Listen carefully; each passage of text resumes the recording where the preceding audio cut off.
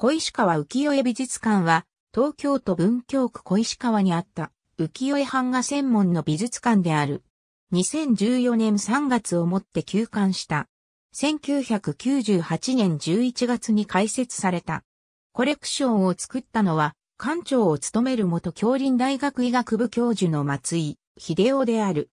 収集のきっかけは、松井がシカゴのイリノイ大学に客員講師として赴任している時、ピカソや印象派の絵を見にシカゴ美術館に行った時のことである。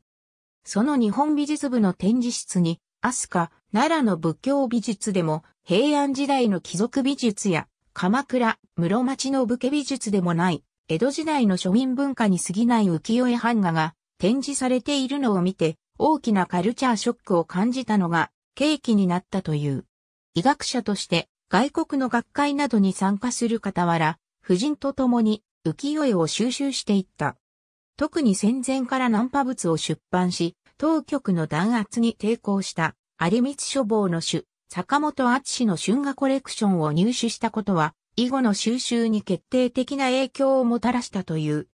松井は初すりにこだわり、先入観なしに理由はよくわからないがどうしても買いたいと思い、一度冷静になった後、それでも欲しいと感じたものを集めていった。所蔵されている2000点もの浮世絵から毎月数十の浮世絵を掛け替えて展示していた。閉館後、コレクションは売却されたという。ありがとうございます。